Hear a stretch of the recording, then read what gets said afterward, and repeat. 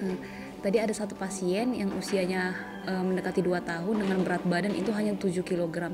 Jadi saya duga itu si anak mengalami gizi kurang dan bahkan mungkin gizi buruk.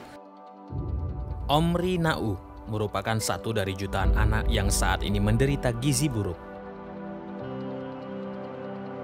Kemiskinan dan gizi buruk merupakan hal yang saling berkaitan.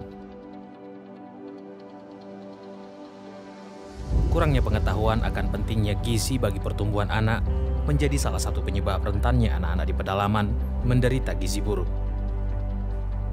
Akibatnya, kemampuan anak dalam belajar menjadi rendah. Wajar saja masih banyak anak-anak di pedalaman yang masih tertinggal dalam hal pendidikan. Untuk itu, Mobile Klinik Tangan Pengharapan selalu memberikan sosialisasi mengenai pentingnya gizi bagi pertumbuhan anak-anak. Setiap pengobatan dokter selalu menemukan kasus gizi buruk.